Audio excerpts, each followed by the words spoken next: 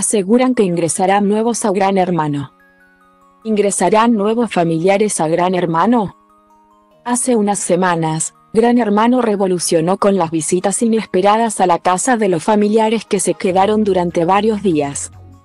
Cambiando el rumbo de la competencia, debido a que el que se quedara de último le daría el liderazgo a su pariente.